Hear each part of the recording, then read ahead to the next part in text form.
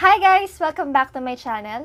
And ngayon ang pag-uusapan naman natin ay tungkol sa isa pang product na laging hinahanap sa butika. Walang iba kundi ang Vitamin E Myra E Capsule. So kung gusto nyong malaman kung ano ang silbi or importance ng vitamin E sa ating skin, kung anong dapat i-take in consideration nyo kapag magtitake kayo ng ganitong klaseng vitamins, yung mga undesirable and desirable effects nito sa katawan natin, mga gamot na dapat iwasan or pagkain na dapat iwasan kapag iinom ka ng vitamin E capsule, yung mga signs and symptoms para malaman mo kung overdose na or sobra-sobra na yung pag-inom mo ng vitamin E, at kung gusto nyong malaman ang masasabi ng isang pharmacist regarding dito, then please keep on watching.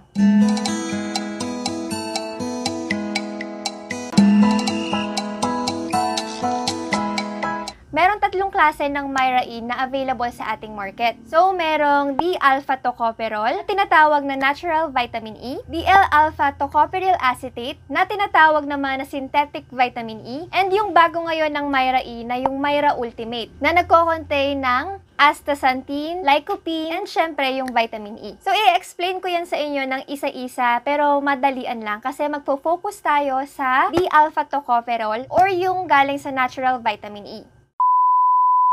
So, simulan muna natin dun sa DL-alpha tocopheryl acetate or yung tinatawag nga na synthetic vitamin E. Ang synthetic vitamin E ay tinatawag ding nature-derived vitamin E. Ibig sabihin, galing sila sa mga petroleum products. Yung tocopheryl acetate na galing sa DL-alpha tocopheryl acetate Pakita ko na lang dito sa screen. Oh, napoproduce siya kapag yung D-alpha tocopherol ay na-combine sa acetic acid na nag-undergo sa process ng esterification. So, ilalagay ko na lang yung meaning ng esterification dito sa screen. So, safe ba to yung tocopheryl acetate na to kahit galing siya sa petroleum products? Yes, safe naman siya gamitin kasi re-recognize naman ito ni FDA as food grade products. And kung mapapansin nyo na yung tocopheryl acetate ay nagko-contain ng 300 IU compared dun sa natural vitamin E na merong 400 IU. Mamaya pag-usapan natin yung mga IU-IU na yan. Next naman, daanan natin yung Myra Ultimate. Yung Myra Ultimate ay meron ng astaxanthin, lycopene, and vitamin E. So yung mga products na to ay nakakatulong sa skin aging kapag lagi mo siyang ginagamit ha. Tapos nagpa-proper diet ka pa and exercise. Ang main active ingredient nito ay yung astaxanthin. Yung astaxanthin nakakatulong yon para makapag-reduce ng fine lines at makapag-lighten ng dark spots. Ginagamit din ng astaxanthin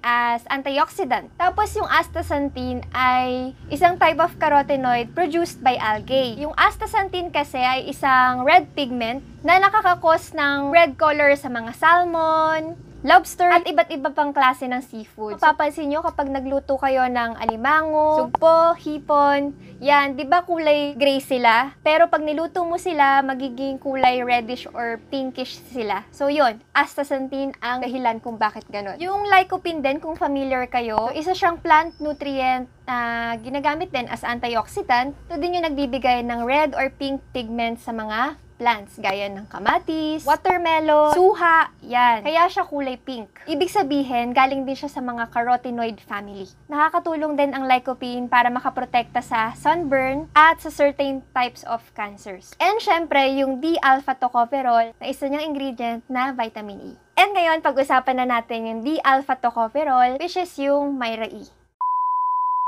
Yung D-alpha tocopherol or vitamin E ay tinatawag na natural vitamin E. So, ibig sabihin galing siya sa vegetable oils, nuts, or sa grains. Sa bawat capsule ng vitamin E ay merong 400 IU. Ang gamit ng vitamin E ay isang antioxidant. Ang function ng isang antioxidant ay dinedetoxify niya yung mga free radicals. Yung mga free radicals or sa scientific term ay yung mga unstable atoms, ang lalim pero ito yung mga damaged cells, yung nakakakos ng illness or aging na nakakaapekto sa respiration, metabolism, and immune system response ng isang tao. So, para mawala nga yung mga free radicals na yon, gumagamit tayo ng vitamin E.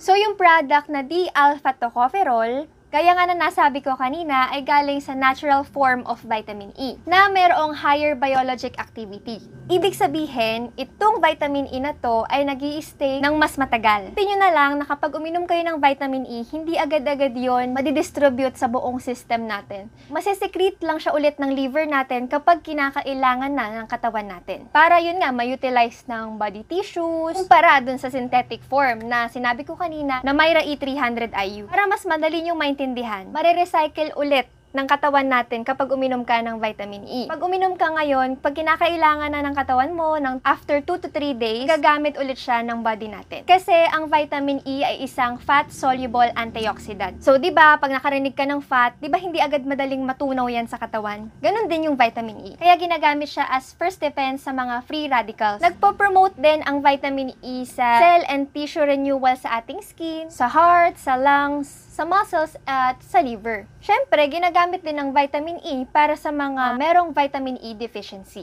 Yung mga nagkakaroon ng vitamin E deficiency ay sobrang rare lang naman unless meron kang underlying health condition. At kapag napataas yung doses mo ng vitamin E, pwedeng maka-increase ng risk sa bleeding. So, kapag may nararanasan ka ng vitamin E deficiency, ito yung mga nararamdaman mo. Pwedeng nahihirapan ka sa paglalakad, or may muscle pain, may panghihina sa muscle natin, visual disturbances, at parang lagi kang matamlay. làm lạnh. So, gaano ba talaga karaming vitamin E ang kinakailangan mo sa isang araw? Sa adult at saka sa children, 14 years old, pataas ay nangangailangan ng 15 mg ng vitamin E per day. Yung mga children naman, okay lang naman yung mga mabababang doses. Gaya ng pag 1 to 3 years old, pwede na yung 6 mg per day. Pag naman 4 to 8 years old, pwede na yung 7 mg per day. At kapag 9 to 13 years old, pwede na yung 11 mg per day. So kung mapapansin nyo, milligrams yung binabanggit ko at hindi IU. Kung mapapansin nyo din sa nasa box ng Myra E, IU yung nakasulat at hindi milligram. Mamaya i-explain ko sa inyo paano ba i-convert yung IU sa milligram. Kasi baka natakot kayo na pasobra na kayo ng vitamin E. Magkaiba po ang IU sa milligram. Pero bago ko i-explain yon, paliwanag ko muna ng mas malinaw ano bang ginagawa ng antioxidant sa katawan. Example, meron kang bisikleta, syempre bago yan, habang tumatagal lumilipas ang panahon, nagkakaroon na din ng kalawang yung kanyang kadena yung rust na yon or yung kalawang na yon ay pwede nating matawag na free radicals. So, di ba kapag may kalawang yung kadena, ang nilalagay natin ay oil. Or sa sakyan man, pwede yung change oil. Mm, may naiisip kayo. may naiisip kayong chika, char. Di ba kapag nilagyan mo ng oil yung kadena or yung luma mong sasakyan ay nagpa-change oil ka, syempre magiging maganda ang takbo niyan, magiging fresh na ulit parang bago ulit, 'di ba? Ganon yung ginagawa ng vitamin E sa ating katawan. Mga dead skin or yung kalawang, pinapabata niya ulit. Isa pang trivia, nakakatulong din ang vitamin E sa mga taong may lifestyle risk factors or merong higher environmental factors gaya nung mahilig manigarilyo, mga taong exposed sa air pollution, at yung mga taong laging nasa labat na exposed sa araw. Kasi yung araw nga, di ba, merong UV rays or ultraviolet rays na nakaka-damage ng ating skin. So, kapag nagtatrabaho ka sa labas, exposed ka sa araw, naninigarilyo ka, so yan, mga prone yung mga taong yan sa free radicals. At maganda na gumagamit ka ng vitamin E. Kasi nakakatulong nga yung vitamin E para makapag-repair ng mga damaged cells. So ano bang gagawin mo kapag nakamiss ka ng dose ng vitamin E? Halimbawa, nakalimutan mo siyang inumin. Best advice dyan ay wag mong dodoblehin yung gamot. Halimbawa, nakalimutan mo ng isang araw, take ka na lang ulit para sa araw na yun lang. Hindi yung dodoble ka pa ng dose. Actually, hindi lang din yan sa vitamin E. Lahat ng gamot, wag mong dodoblehin ang dose. Siyempre, sa bawat pag-inom ng gamot ng mga tao, may mga kalakip na care or pag-iingat pagtitake nito nito. Kapag nakapag-take ka ng vitamin E greater than 100 mg, ang equivalent ng 100 mg ay 149 IU. Dapat mag-ingat or maging cautious yung patient na gumagamit ng warfarin. Or better, pa-check ka sa iyong doktor kung anong dose ang dapat mong i-take para mabago na agad. Ganun din yung mga taong may vitamin K deficiency or yung mga taong may liver failure. Dapat maging cautious din sila sa paggamit ng vitamin E dapat din po mag-ingat yung mga may lesions na may tendency para mag-bleed. Kaya nung merong mga bleeding peptic ulcers, yung merong mga history ng hemorrhagic stroke, or yung mga namamanang bleeding disorder, gaya ng hemophilia. Dapat din pong itigil ang vitamin E supplementation one month bago ang surgical procedure. Kaya kung mapapansin nyo kapag may surgery, tinatanong ko ano mga na-take mong gamot. Kung mapapansin nyo sa mga nasabi ko na dapat maging cautious sa paggamit ng vitamin E, may kinalaman sa bleeding. Kasi nga po, ang vitamin E ay nakaka-increase ng risk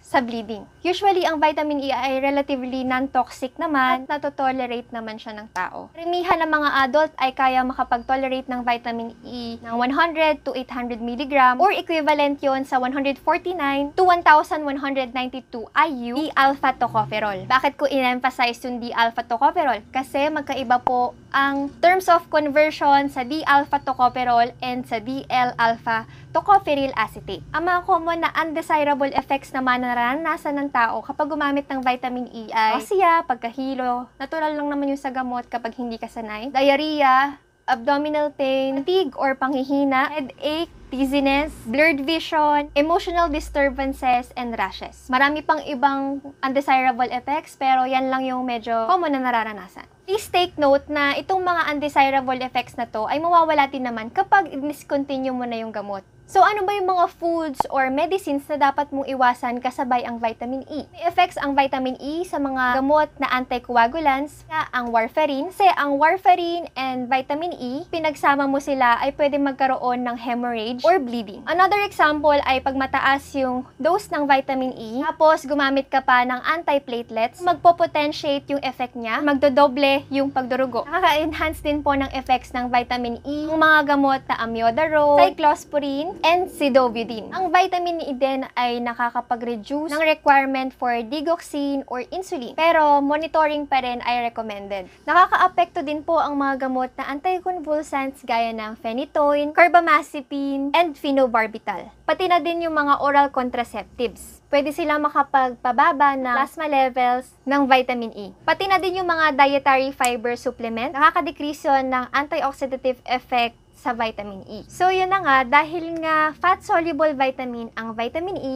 nai-store ito sa liver at sa fatty tissues natin for a long period of time. Kaya dahil doon, mas mahirap para sa body natin na ma-excrete siya or makapaglabas ng large amounts of vitamin E. Kaya nagkakaroon ng risk of toxicity. Isipin nyo, uminom kayo ng 400 IU ng vitamin E. Yan, sumunod na araw, kinabukasan, uminom ka ulit ng 400 IU na vitamin E. Siyempre, hindi pa agad-agad natutunaw sa katawan mo yung 400 IU na nainom mo kahapon. Kaya dahil doon, nadagdagan na naman ng isa pang 400 IU yung katawan mo kasi uminom ka ngayon. Kaya yun yung nagiging dahilan kaya tayo nagkakaroon ng toxicity sa vitamin E. Or yun na nga, nakakaranas kayo ng pagkahilo, pananakit ng ulo, iba pang mga nasabi ko kanina na side effects or undesirable effects ng vitamin E. Kasi napasobra na yung pag-inom mo ng vitamin E. So ano bang treatment para dun sa mga vitamin E toxicity? Pag nakakaranas ka ng excessive bleeding or panghihina na, dapat mag-seek ka na agad ng medical help as soon as possible. Kasi ang vitamin E toxicity ay pwedeng mag lead sa hemorrhagic stroke or pwedeng mag-lead nga sa death. So, ang common way para matreat yung vitamin E toxicity ay i-discontinue mo na yung supplement or yung gamot na to. Or halimbawa, i-reduce mo na din yung pag-take ng mga foods na rich in vitamin E sa diet mo para yung mga blood serum levels sa katawan natin ay maging normal na ulit. Ang normal na range pala ng blood serum level sa katawan natin ay 5.5 mg per liter at 17 mg per liter. Siyempre kapag severe symptoms na yung nararanasan, kailangan na ng serious medical intervention para dito gaya ng blood transfusion, surgery para ma-repair yung mga damaged blood vessels. So, ang takeaway nyo dito sa vitamin E ay tulong siya para mag-prevent ng harmful blood clots or yung mga pamumuong dugo. Tapos, yung adults ay pwedeng mag-consume ng 15 mg of vitamin E per day. So, ngayon, i-check ulit natin kung tama ba yung mga nakalagay sa indications ng vitamin E or Myra E. Kung mapapansin nyo sa box, meron nga siyang D-alpha tocopherol, which is yung natural vitamin E. Tapos, may nakalagay sa baba niya na 400 IU. So, papakita ko dito sa screen kung paano siya i-convert. Tapos, ang loob niya ay gantong style. May mabibili ka ding bote ng Myra E at hindi siya nakalagay sa foil. Meron din siya kasamang leaflet sa box. So, ito yung nakasulat sa kanya. Tapos, ang itsura niya sa loob ay oblong and soft gelatin orange shape. So, nakalagay dito na kapag magtitake ka ng vitamin E, one soft gel capsule once a day or as directed by a doctor. And ang ma-advise ko as a pharmacist, kung magtitake kayo ng vitamin E, mas maganda na hindi siya araw-araw. Kasi nga, isa siyang fat-soluble vitamin. Kaya, hindi siya agad-agad natutunaw sa katawan natin. So, pwedeng after 2 days, saka ka ulit mag-take. Nakalagay dito na kapag may allergic reaction ka sa mga components ng product, ay huwag ka na lang mag-take ng vitamin E. Nakalagay din dito na dapat hindi rin maabot ng children, hindi rin siya dapat i-store sa temperatures exceeding 30 degrees Celsius, layo sa direct sunlight, at dapat yung bottle ay properly or tightly closed. And for suspected adverse drug reaction, syempre dapat i-report ito sa www.fda.gov.ph.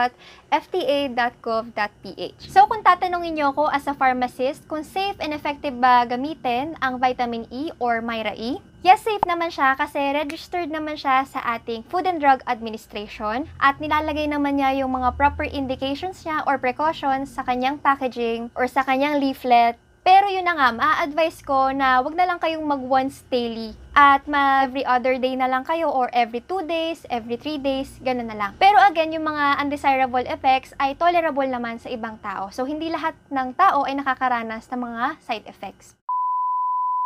So yun guys, tapos na ang ating review tungkol sa Myra E or D-alpha tocopherol vitamin E. At may pahapyaw pa ako na review dun sa dalawa na Myra E 300 IU and Myra Ultimate. So sana may natutunan kayo sa nagawa kong video. Kung nagustuhan nyo yung video na to, please like, i-share nyo na din ito sa inyong mga friends para matutunan nila kung ano ba yung effect sa katawan natin ng vitamin E. And yes, masasabi ko na talaga namang nakakabata ang vitamin E. Comment down below kung ano pa yung mga products na gusto nyong i-review ko as a pharmacist. Please subscribe kung hindi pa kayo nakaka-subscribe and pakiclick na din yung notification bell para ma-notify kayo every time I post another video. Yun lang guys, lagi kayong mag-iingat. Salamat sa panonood and see you on my next one. Bye-bye!